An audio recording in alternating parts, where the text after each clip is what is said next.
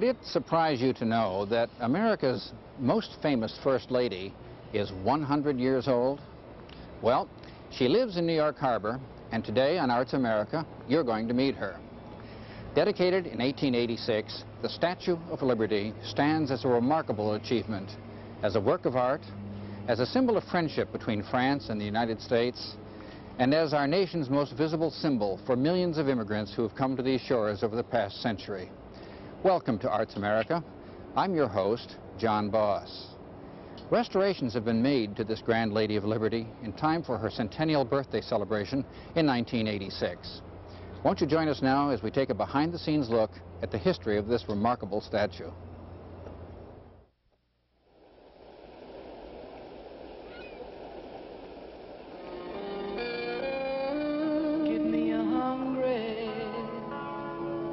Give me a tired,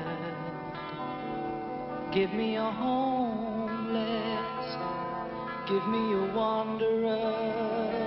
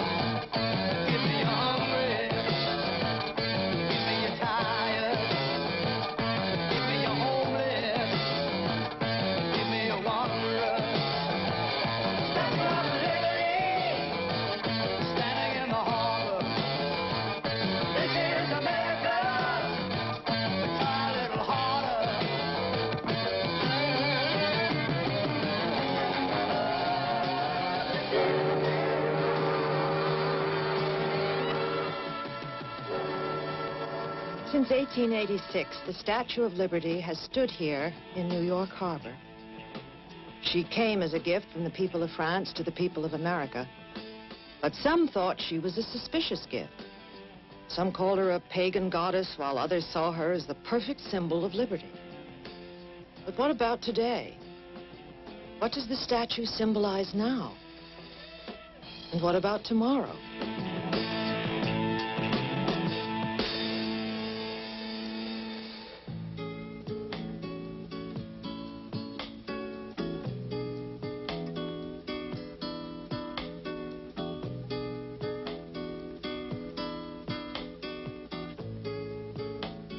The story of the Statue of Liberty began in Colmar, part of the strategic border region between France and Germany.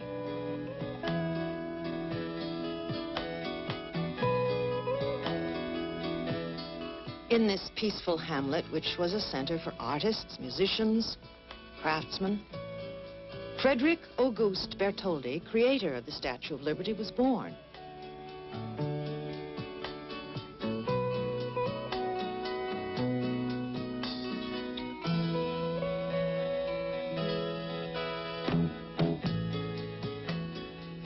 Young childhood was a world fashioned by his widowed mother to groom him as a member of the privileged class. Auguste spent his days studying music, art, and literature. Beyond these walls, political forces were tearing France apart. The Franco-Prussian War had begun. For Bartholdi, war suggested images of nobility, bravery, heroism.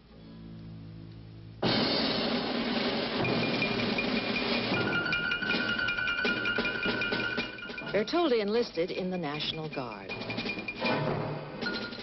But all too suddenly, his dream of a glorious victory was smashed by the harsh reality of France's swift and humiliating defeat. Colmar was lost to Germany.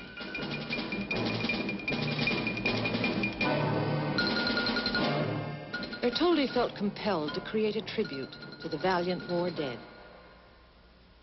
My only ambition, he wrote, is to engrave my name at the feet of great men and in the service of grand ideas.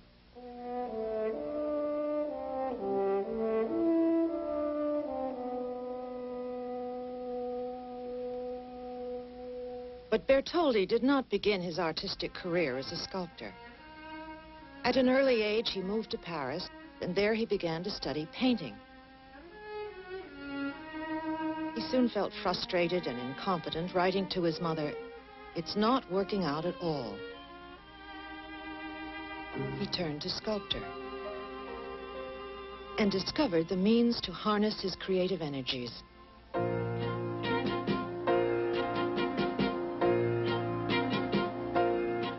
When he was 18, he received his first big commission, a statue of Colmar's heroic General Jean Rapp, a marshal in Napoleon's army.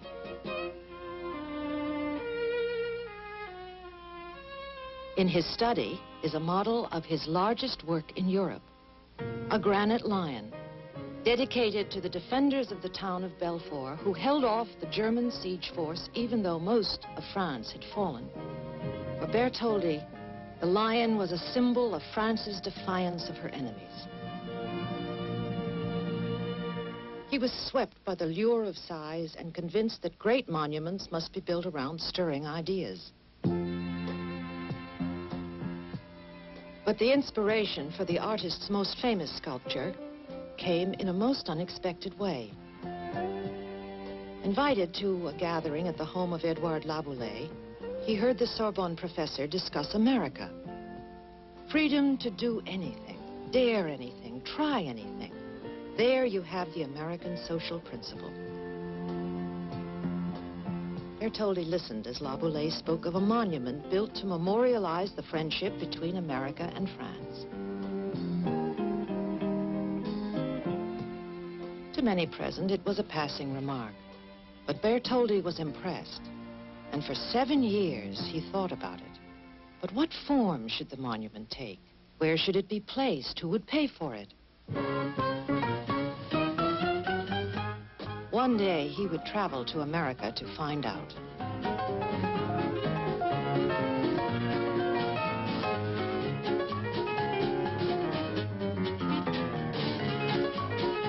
On June 12, 1871, Bartholdi wrote, Dear Mother, have arrived safely in New York City.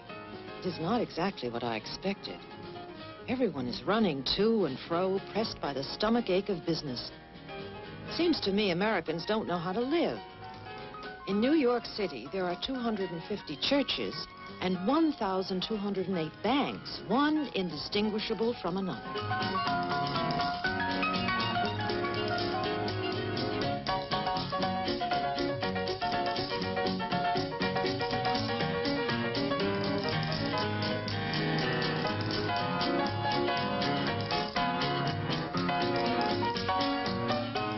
July 18. America continues to astonish me. There seems to be no order, certainly no consistency. It is incredible, such growth. I cannot understand how all this happened in such a short time.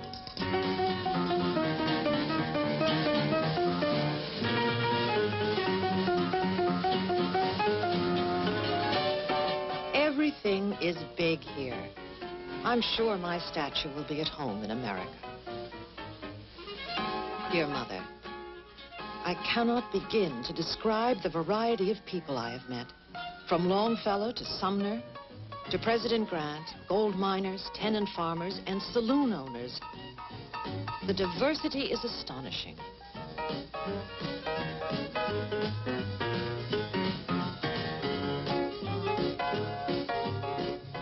I've been asked to paint a portrait of Mormon leader Brigham Young, the happy husband of 16 wives. Mormons are fascinating, but not particularly wealthy. I am troubled. I can't seem to find an image that represents this great nation.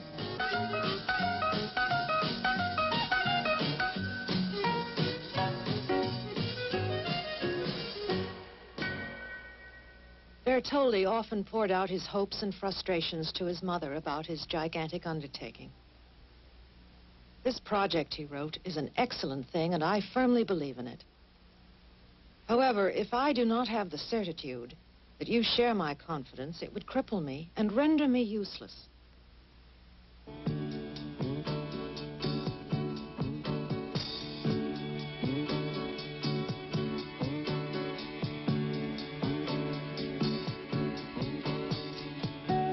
Would always be an important influence.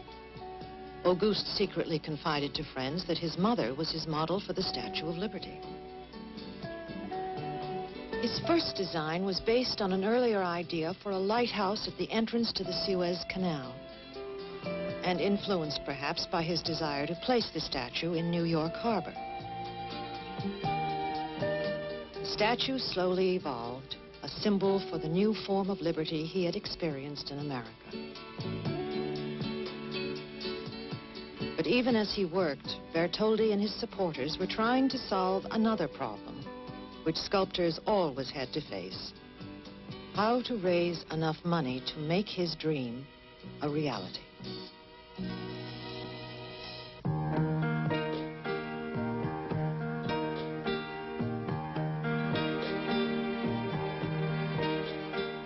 France has always been a patron of the arts, graced by structures majestic, beautiful. The proper setting for a history of glory, ceremony, grandeur.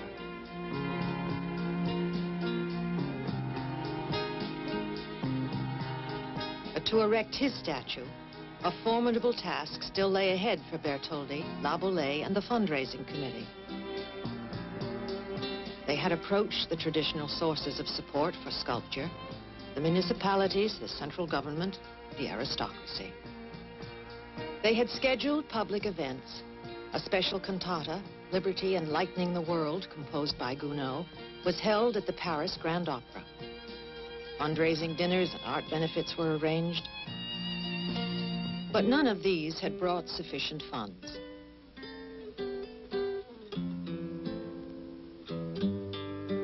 So they went directly to the French people. Bartholdi said they will decide liberty's fate. A national lottery was organized. A few hundred supporters soon grew into hundreds of thousands. One million school children donated 300,000 centimes to the statue fund. It became a movement of the French people. Working men, tradesmen, shopgirls, students joined liberty's cause.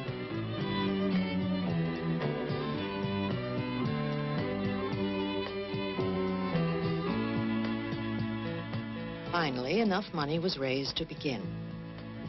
The work of one man's hands would become the work of many hands.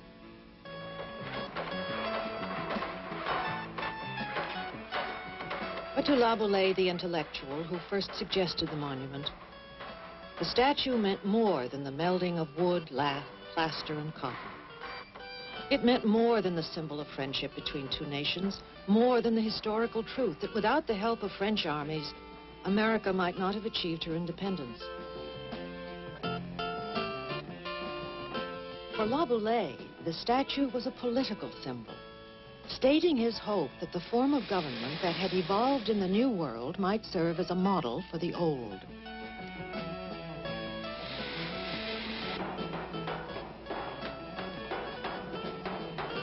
Laboulaye had written, if a monument should rise in America as the memorial to their independence, I should think it only natural if it were built by united effort, a common work of both our nations. Soon thousands of people came to Bartholdi's Paris workshop to visit Liberty's construction site, including the President of the United States, Ulysses S. Grant. But in America, some were shouting, send her here, we'll send her back. While some Americans carked and others cheered, France continued working. Liberty was moved outdoors. Engineer Gustave Eiffel, later to design his famous tower, created an iron frame cantilevered to withstand hurricane winds. Without his new design, the statue's construction would not have been possible. But before the statue was complete, money ran out. Bartholdi suggested a unique fundraising event, a party in the statue's need. Of his statue, he said, it is a consolation to know that this statue will exist thousands of years from now, long after our own names shall have been forgotten. Finally, in Paris on July 4th, 1884, France officially presented the statue to the United States.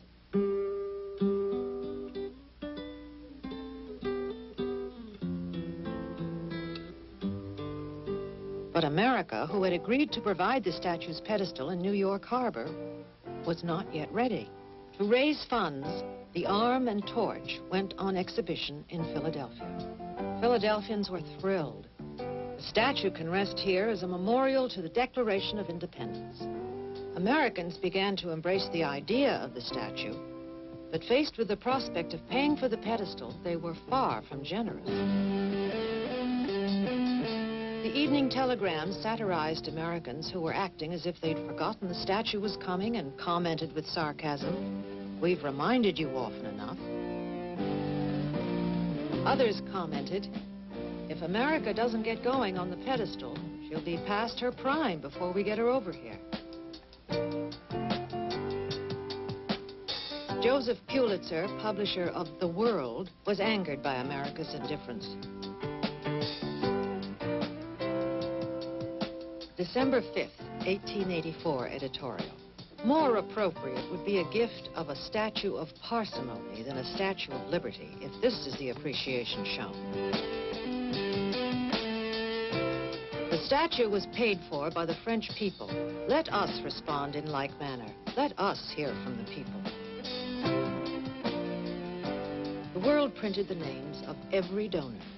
We acknowledge the generous contribution from the Arctic Fire Engine Company number one of Milford, Connecticut. I have lost 25 pounds and I'm happily sending in a penny per pound. May heaven help you in your good work. It seems that New York's rich men do not. Enclosed $7.25. And after a whirlwind campaign of 21 weeks, Pulitzer achieved his goal.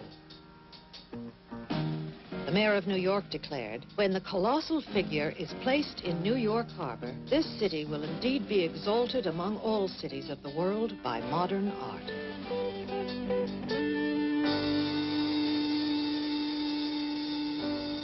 On October 28, 1886, President Cleveland, who had previously vetoed a bill for the statue's funding, proclaimed, We will not forget that liberty has made her home here,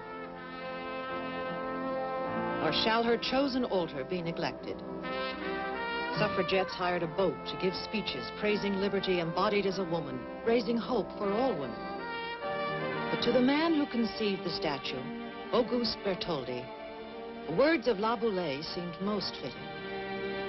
A body of iron with a soul of fire.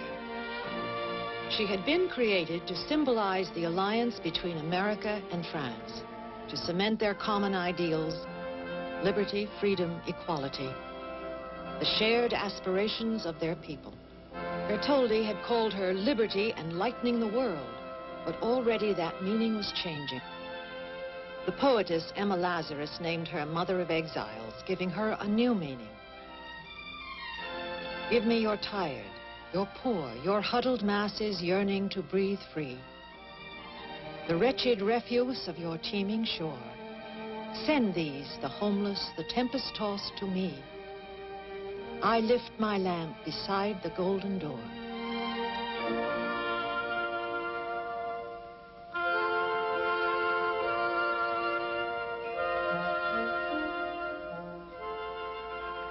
First conceived as a symbol of friendship between America and France, the statue became a symbol of liberty for thousands of refugees sailing to American shores. Ellis Island, midpoint between the homeland and the destinies the New World had to offer. Each day they came past the statue, immigrants, now landless, often penniless, willing to sacrifice homeland, family, friends, for the promise of a new beginning. The first sight of the statue still on their minds, but her meaning fading fast.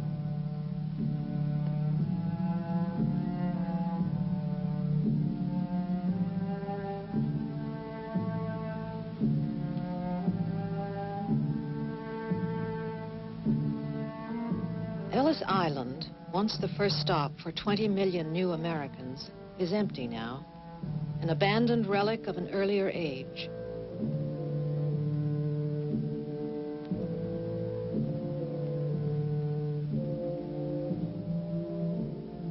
And who were these new Americans?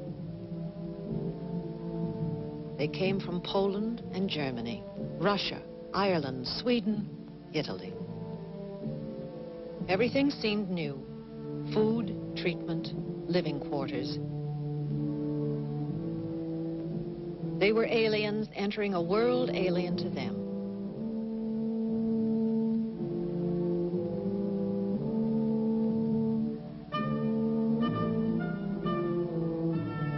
Their reasons for coming were many.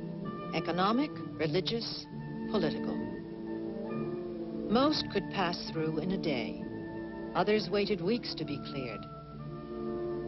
Some rose to greatness as scientists, artists, as leaders in government, labor, and business.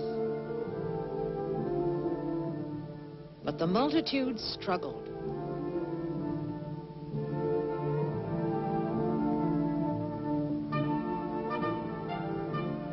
They did not know the immigration laws. They did not know the language. They never heard of San Francisco or St. Paul, Atlanta or Albuquerque, Chicago or Saugatuck. But they started out.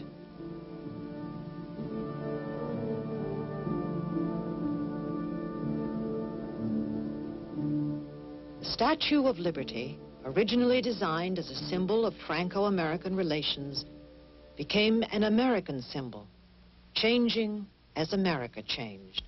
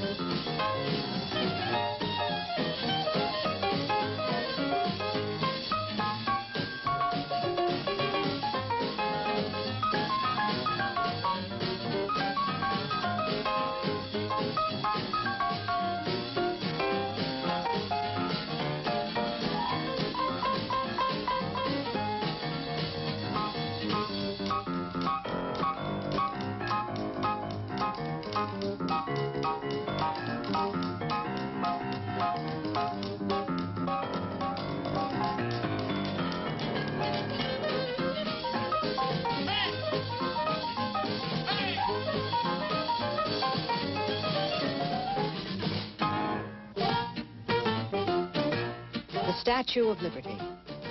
To many Americans, still the nation's most popular First Lady. A legendary ambassador of goodwill.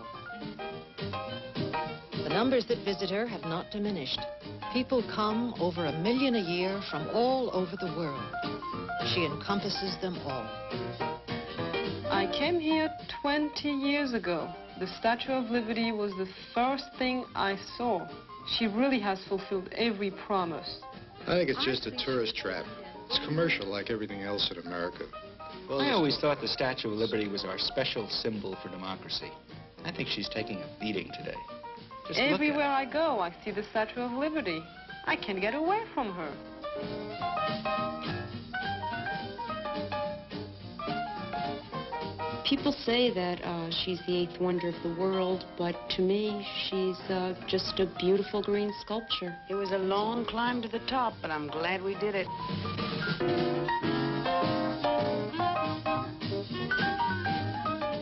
I think she's a beautiful, beautiful statue. I just hope that we can keep what she stands for. I think we should.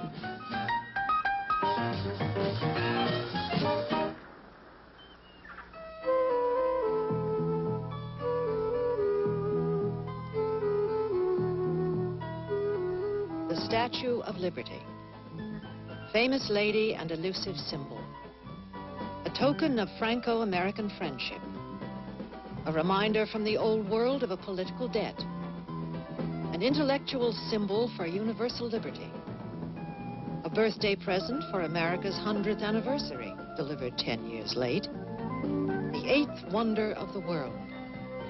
A place for political protest, a commercial symbol, a beacon of hope for immigrants.